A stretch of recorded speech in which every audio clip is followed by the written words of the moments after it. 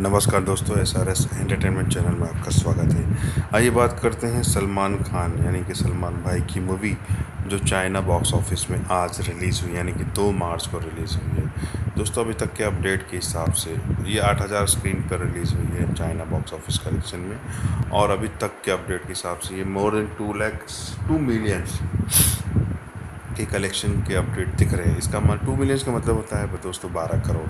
और उससे ज़्यादा ही उम्मीद की जा रही है। तो मुझे लग रहा है कि ये मूवी कुछ नहीं तो पंद्रह से सोलह करोड़ के बीच का पहले दिन का इसका जो कलेक्शन आ आ चुका है बॉक्स ऑफ़िस इंडिया की माने तो। पहले ये दंगल और सीक्रेट सुपरस्टार से बहुत कम है, लेकिन सलमान भाई के लिए काफ़ी अच्छी शुरुआत मानी जाएगी। और आमिर खान का मार्केट बहुत पहले से ही है अच्छी तरह से। तो सलमान के लिए पहली बजरंगी भाईजान है, जो लगभग मोर देन टू मिलियन से ज़्यादा कलेक्शन कर रही है।